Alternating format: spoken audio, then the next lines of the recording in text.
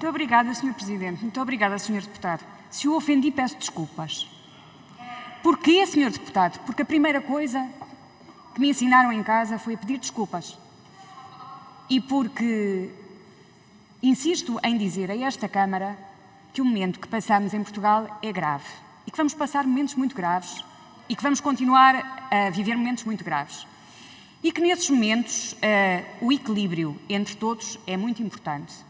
E como tal, quero apenas reafirmar que trabalhamos, trabalho, trabalhamos no Ministério da Saúde todos os dias para servir os portugueses e essa é, o nosso principal, é a, nossa, a nossa principal preocupação.